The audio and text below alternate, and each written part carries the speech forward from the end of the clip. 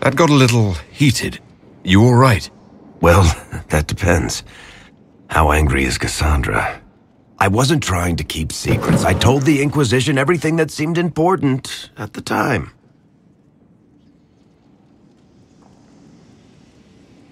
I know, Varric. You never would have kept quiet otherwise. I keep hoping none of this is real.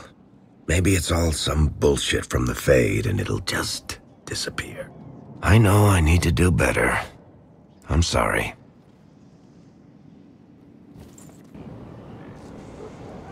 Corypheus is back. Oh, shit. Honestly, I'd rather fight an ancient Darkspawn with a pet archdemon than deal with that hole in the sky. At least you can kill Darkspawn. We didn't just think Corypheus was dead. He was dead. It makes me wonder. I thought the Wardens imprisoned Corypheus to use him. Maybe they did it because he can't be killed. Nothing is unkillable. I'm not so sure about that. Do the things in the Fade really die? Maker's breath, what have I let loose? You had nothing to do with this, Varric. I was the one who led Hawke to Corypheus. But you've got more important things to do than listen to me worry. Just let me know when you want something shot.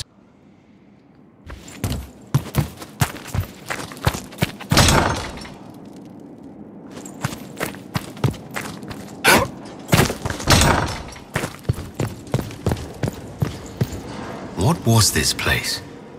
So much room for whatever was here. Hello. I'm interested in what you told me of yourself and your studies. If you have time, I'd like to hear more. You continue to surprise me. All right, let us talk. Preferably somewhere more interesting than this.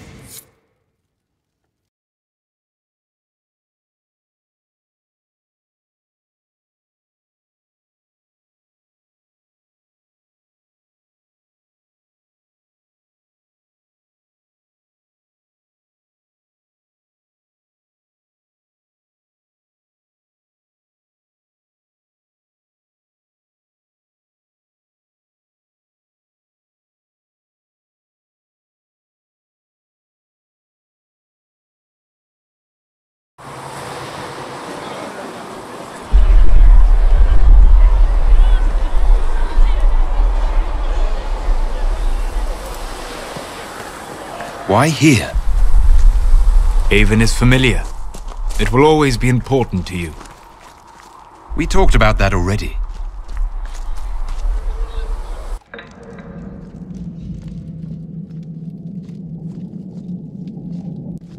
I sat beside you while you slept, studying the anchor.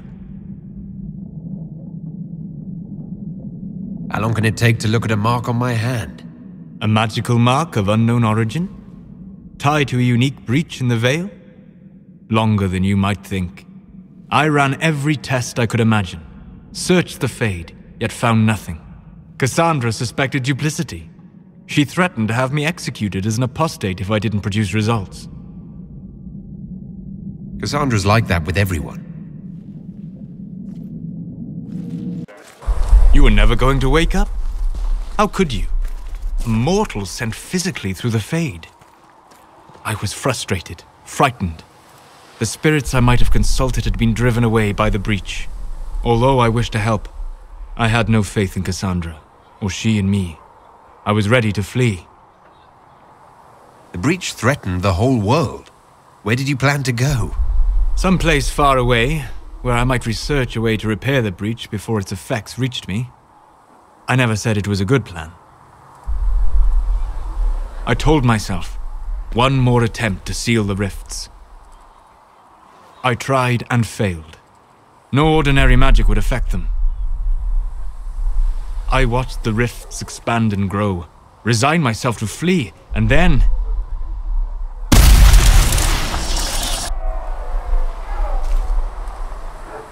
It seems you hold the key to our salvation. You had sealed it with a gesture. And right then, I felt the whole world change. For all our sakes, I'm pleased that you stuck around. As am I. You have fractured rules of man and nature, and you will shatter more before you are done. To visit me here, and you not even a mage.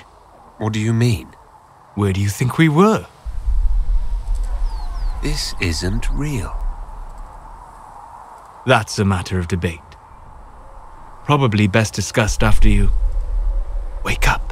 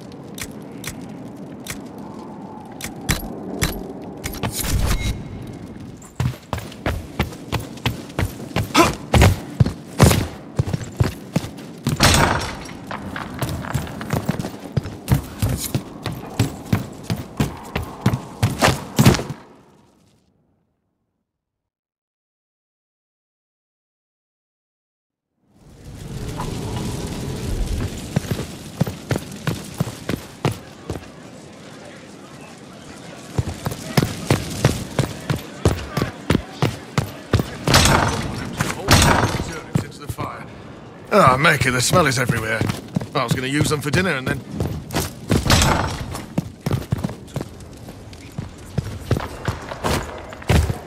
Sleep well? I've never done anything like that before. Do you regularly talk to people in dreams? No.